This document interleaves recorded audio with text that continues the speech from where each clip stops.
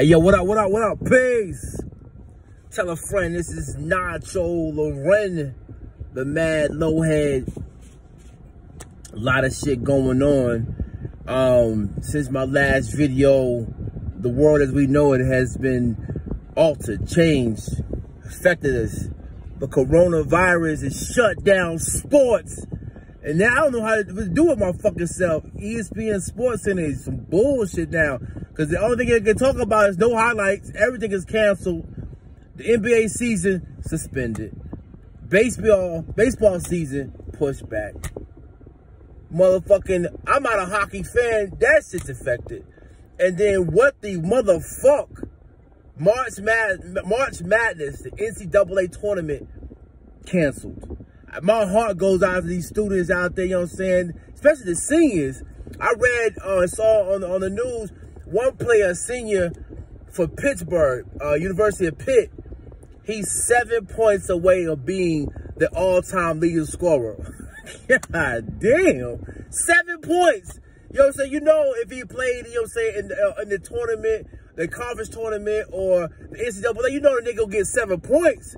That's your legacy. I hate it for that brother.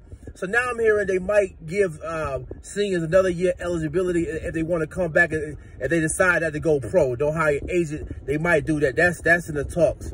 But that shit is fucking crazy, the coronavirus. So I, have been saying, I'm a germphobe myself. I try to, well, I am very clean, brother. You know what I'm saying? Wash your hands. Don't cook shit. If you cook shit, don't offer it to me because I'm not going to eat the shit. Um, but I see motherfuckers, yeah, I salute people. I've been seeing it. Motherfuckers out here uh, catching cheap ass cruises. shit is real shit. Uh, uh, uh, the prices of uh, plane tickets are, are very low. So get your miles up and all that. That shit is real, man. But anyway, man, um, protect yourself. It's just coronavirus, man. This is fucking up a lot of shit. And me as a sports fan, this shit, they need to find a motherfucking, you know what I'm saying, vaccine to get this shit cleared the fuck up because what if this shit go into the summer and push back, you know what I'm saying, the NFL season, college football and all that.